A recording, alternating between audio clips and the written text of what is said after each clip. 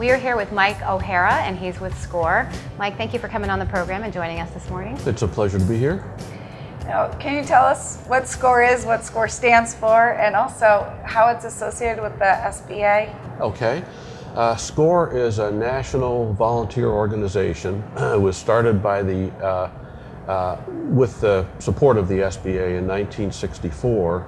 Uh, and the purpose and mission of SCORE is to assist emerging and existing small businesses uh, through a variety of counseling services. Um, it's a, it's a countrywide organization. It has grown from the beginning to now uh, about 370 chapters, Wow. over 11,000 volunteers. Uh, about a dozen or so of those chapters are in North Carolina, including Charlotte. Um, and we have about 65 uh, active volunteers at this point. The name originally came from Service Corps of Retired Executives, but we have de emphasized that in recent years because um, we have more and more entrepreneurs and people with business backgrounds but not executives.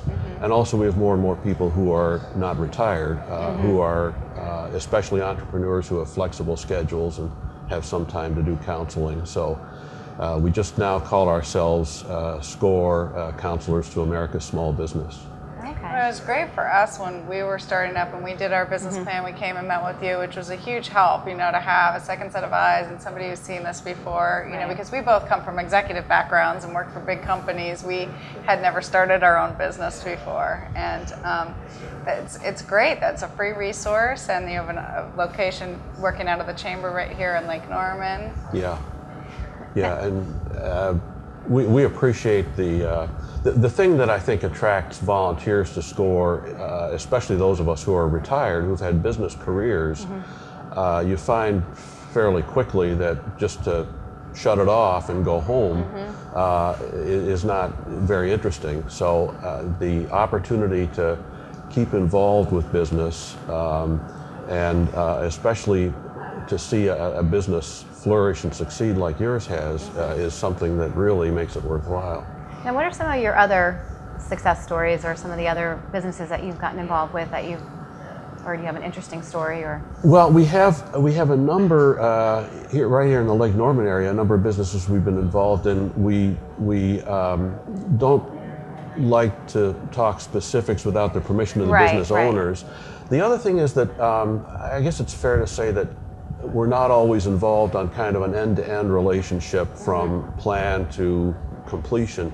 A lot of times we'll have an involvement, um, a, a one a one-time kind of thing. I think of one business that I met with uh, oh shortly after I joined SCORE about five years ago that's still in business. They had a, a well-developed business plan. They really wanted another set of eyes looking at it before they before they pulled the trigger and started. Right. Uh, and that's really all we did. So uh, I think we helped them a little bit. We made some suggestions that, that they uh, uh, implemented.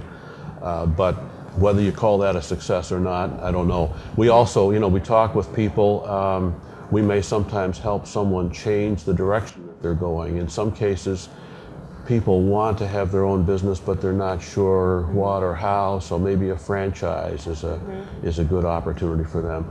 Uh, we sometimes get involved with people who need financing and help them prepare a, uh, a loan presentation uh, to a bank or another lender. So it can be uh, extensive involvement, or it can be a fairly limited involvement. I heard that, or I read somewhere that um, with the economy being the way it is, and a lot of people either losing their jobs or finding that the industry that they are in wasn't very profitable for them, have started their own businesses, and there's been kind of a growth in startups and small businesses. Have you seen that, or? It's hard to tell. We, uh, looking at our activity this year, and we're on a- an October 1st fiscal year because of our relationship with the government agency. The first um, four or five months, our activity was quite a bit less than it was the year before. But the last several months, it has picked up, and we're, we've actually closed the gap. Uh, so there's more activity going on now than there was earlier in the year. So I, my read on that is that uh, initially, a lot of people that had a, a small business idea decided this is not a good time. Now, as time has gone on a little longer, They thought it through, and yeah, this is a good idea, and this may not be a bad time to get started, especially to get the groundwork done and be ready when the curve starts moving up to, to take advantage of that.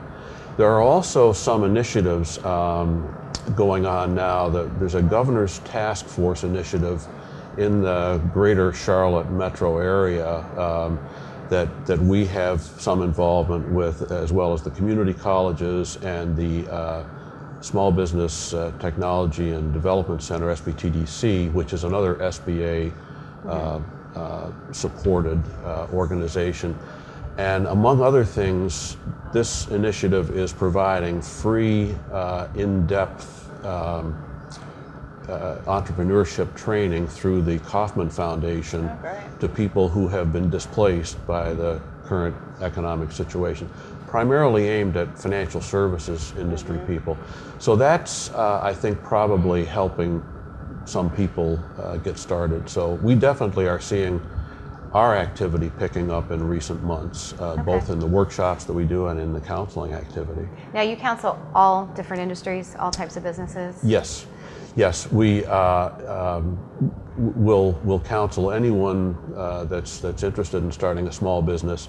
In some areas, we have local expertise. We've got people with restaurant background, retailing, a lot of people with, with corporate background. So you try to match people up, then someone will call, score, and you'll get the details, and then you'll try to find the right yes, exactly. partner with them. And if we don't have the expertise locally, uh, we can try to find it nationally. One of the things that SCORE has is an email counseling network that's countrywide, so it opens up a lot broader array of, of backgrounds and expertise than we would have locally.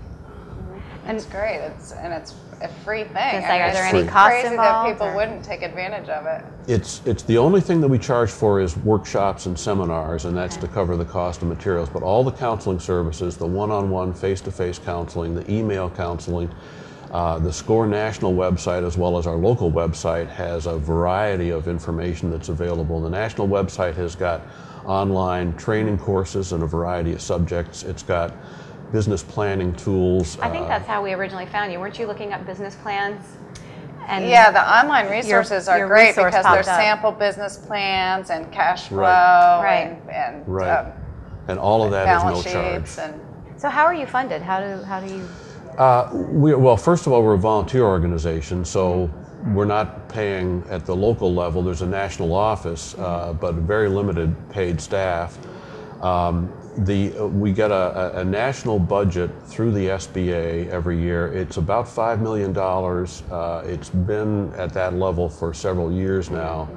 And that supports the national staff, the website, which is one of the most robust business websites uh, that I'm aware of, uh, and then uh, the expenses in the local chapters. Uh, and, and for that, nationally, we have, um, as I say, over 11,000 volunteers.